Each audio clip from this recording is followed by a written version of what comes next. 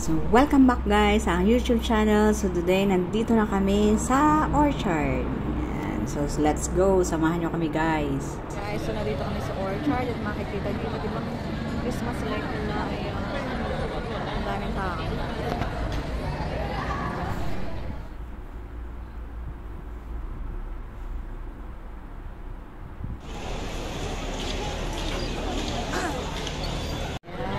yung giant Christmas tree na Louis Vuitton dito sa may ayon sa orchard.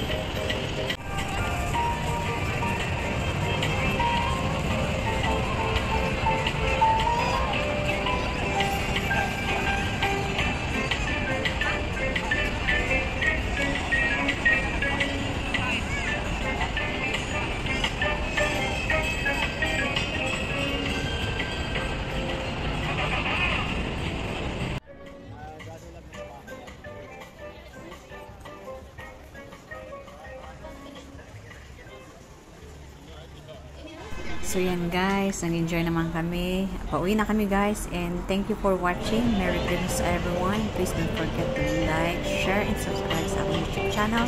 Rosang Gala ng Gala. See you again in my next gala.